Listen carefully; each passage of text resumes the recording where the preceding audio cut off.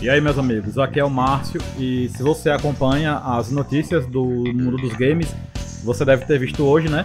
Que saiu aí em vários portais de notícias é, especializados em games que te nós teríamos um possível PlayStation 5 portátil ou um PlayStation portátil, né? Que poderia ser um PS Vita, um PSP, enfim, uma continuação desses dois consoles que a Sony já fez.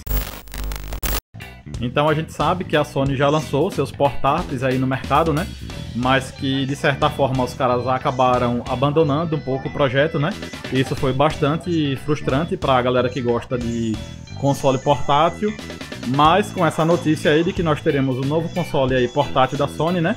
Então eu montei aqui um setup improvisado, imaginando como que poderia ser esse console e como seria legal a gente poder estar tá jogando esses jogos aí que a gente tanto gosta no modo portátil também, né? Além de você estar tá jogando no seu PlayStation 5, você tá podendo estar tá carregando seus jogos aí, seja um God of War, um Spider-Man, um Demon Souls, um Ratchet Clank, enfim, qualquer jogo aí que você queira estar tá jogando, enfim, qualquer jogo aí que seja do seu interesse, né, que você goste de estar tá jogando no seu PlayStation 5, você possa estar tá levando sua diversão aí com você para onde você for, como a gente já está acostumado a fazer com consoles como o Nintendo Switch e alguns consoles portáteis também, que na verdade acabam sendo PCs portáteis, né, como Steam Deck, a Yanel, enfim, e tantas outras marcas aí que nós temos no mercado. E desde o lançamento do Nintendo Switch, né, galera?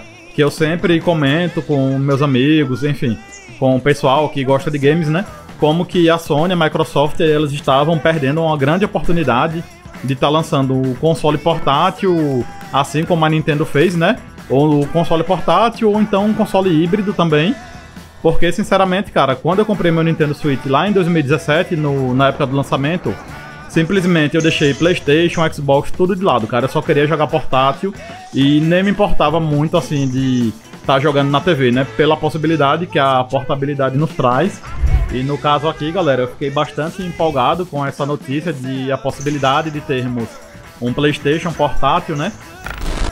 E até então, né, galera, o que a gente tem são apenas rumores, tá? Não existe nenhuma confirmação por parte da Sony nem nada. São apenas rumores que vêm aí de desenvolvedores, né? Que normalmente sempre acertam quando começam a falar muito sobre esses rumores. Mas enfim. E sobre as especificações desse possível console portátil da Sony, né?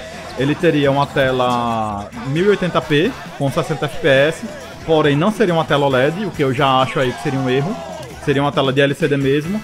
Eu acho que, poxa, o PSP, o PS Vita, não lembro agora qual dos dois, tinha tela OLED, tá?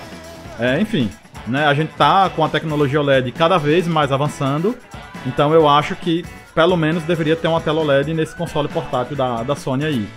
E uma coisa também que eu acho que não faz o mínimo sentido é que, segundo os rumores, o console ele dependeria totalmente do PS5, assim como o PSVR ele depende do PS5, é, ele rodaria no Remote Play. Então eu não vejo um console portátil que faça sentido rodando remotamente direto de um PlayStation 5. É, porque você vai ter que ter, além de ter já o PS5, você vai ter que ter uma conexão de internet e foge totalmente a proposta de um portátil, né? Porque a ideia de você ter um console e com a portabilidade você tá levando o seu videogame para qualquer lugar, você coloca no seu bolso, na sua mochila e vai estar tá jogando em qualquer lugar. E você ficar limitado a, a uma conexão de internet e a ter um PS5 também, eu acho que isso aí é um baita erro, caso os caras façam isso mesmo, né? Mas, como eu falei, são só rumores. Então eu só trouxe esse vídeo aqui rapidinho mesmo, com esse setup aqui improvisado, pra gente imaginar e ter mais ou menos uma ideia de como seria jogar os jogos do PlayStation 5 aí remotamente, né? Remotamente não, digo de modo portátil. Então, enfim, galera, é... o vídeo de hoje é bem curto mesmo, era só pra gente comentar sobre esse assunto aí que foi notícia o dia todo, né?